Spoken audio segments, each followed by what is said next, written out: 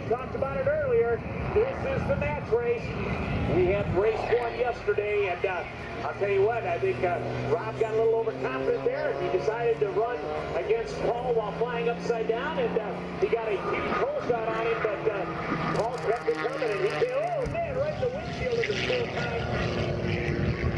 Paul says, take that. Look at that. I got to tell you, we're out here watching the school bus, and you look out there, and you got Rob Doing some incredible tumbles out there that are world-class maneuvers. They're coming right now out here off the left. You can see Paul Stender's putting out a lot of smoke.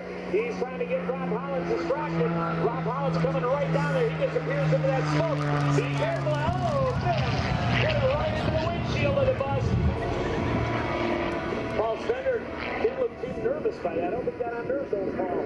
Now as we watch, he's coming at him. Oh man, hey Paul, don't it, Paul. He's doing it. Oh man. Whoa! That's a close shave. Now as we watch out here off the Bear Show right, look at out there. You got Rob Holland tumbles around out there in that right end zone. We've got Paul Stender's out here in the school-time jet bus. The rules of engagement, as I understand it, when they set up for the race, Paul will be at a complete stop. The starter will be there as soon as Rob Holland passes over. Oh!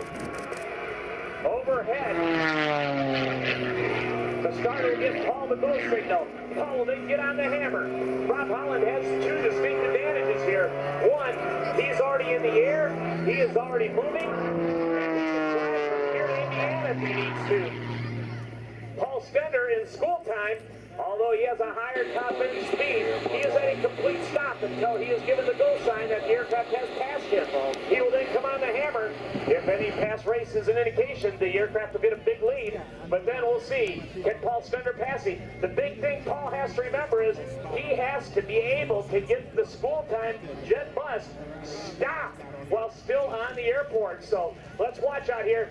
Rob is doing it again. He's going to race him inverted.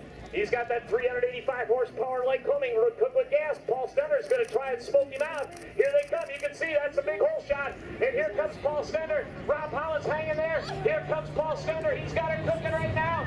Oh, man, it looks like he's coming. Rob, get on the hammer, buddy.